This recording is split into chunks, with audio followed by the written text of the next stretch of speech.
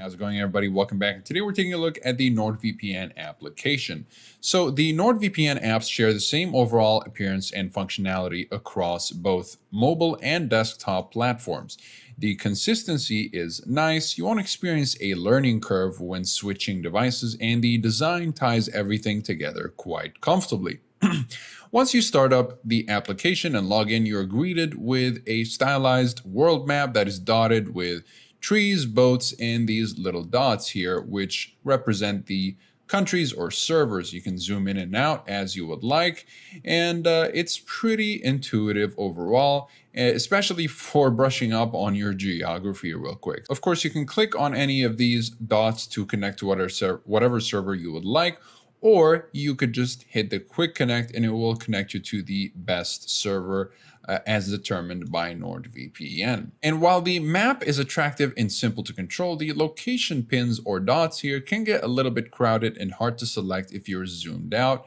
Uh, so particularly in server dense regions like Europe, there are no country labels either. So you'd have to just kind of zoom in and figure out, especially if you're a little bit rusty on your geography. But then again, I'm not going to complain because, uh, you know, in a way, you are brushing up on your geography as you try to figure out which dot belongs to which country. So uh, I'm not going to complain much here. It's more efficient though, admittedly not as visually appealing to use the app server list rather than the uh, map itself. The alphabetical list allows you to pick a country and see the server locations within it. From there, you can choose, for example, whichever server you would like to use depending on load. Uh, and if uh, certain countries, let's say, have more than one location, like let me go to the States, for example, you can pick a, let's say, Salt Lake City, and you'll pick whichever server suits you best based on load, for example. So that is pretty handy. And whichever server you were connected to, you will find all of them in the recents right here. Uh, and if there's, let's say, a special server or a certain server that you would like to always connect to, you can just, let's say, uh, remember the number and you'll be able to just kind of look it up. So I'll just put in 1452 and I'll get that server immediately, which can be nice if you would like. Um, now, you can't add it to a favorite list, but having numbers is pretty uh, useful. So that is pretty cool. Now, if you go to the settings, you'll see toggles for various options, starting with the general you have your cybersec. Now, uh, unfortunately, we don't have a dark mode here. At night, it could put a little bit of strain on your eyes because of the bright background. So what you can do is either make it smaller. Um, I would really appreciate a dark mode though. So uh, this is definitely, I, I, use a dark mode in every single application I can use it on. So definitely would like to see it in the future. So again, we have an ad blocker here. You got auto connect.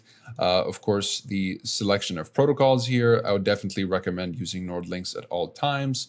Uh, since it's the it really makes NordVPN the fastest VPN in the industry. You've got an internet kill switch and an app kill switch. The internet kill switch will disable your internet connection when the VPN disconnects unexpectedly. The app kill switch will disconnect selected applications when the app disconnects or when the uh, VPN disconnects unexpectedly. Split tunneling will allow you to choose which applications go through the VPN tunnel and which don't, which can be very useful. And in advanced, you've got custom DNS and obfuscated servers if you're having trouble connecting to regular servers in a censorship heavy country like China. So obfuscated servers will just be servers that are only available on the OpenVPN TCP.